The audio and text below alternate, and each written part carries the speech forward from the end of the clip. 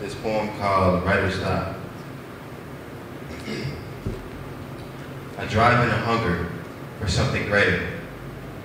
Sometimes I can't seem to escape the miserable hater. So I choose to work hard, so I know when it's time to play that right card. Up long days and up late nights. Go ahead, you can just sleep on my flight. Because someday I'll take off like the Air Force as you see me following a success course. I got my notebook and my shoulder bag. I guess you could say the impression of a college boy's swag. Eager, desperate, thirsty, with an auspicious vision, tired and sick of the destructive way I've been living.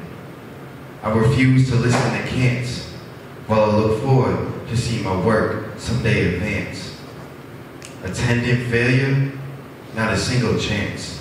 Racking my brain, critiquing again and again, scrunching my eyes and twisting single braids, striving to make sure my message never fades.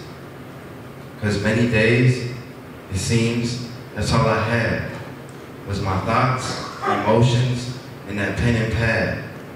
Heartache with the necessity for some restoration, constructive, effective creativity with no limitation. Every minute I fight for every sister or brother that gave up. I take on the responsibility to fill their spot because everyone has a voice and a reason to be heard.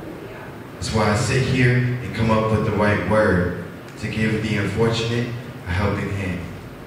Writer's Lab makes inspiration.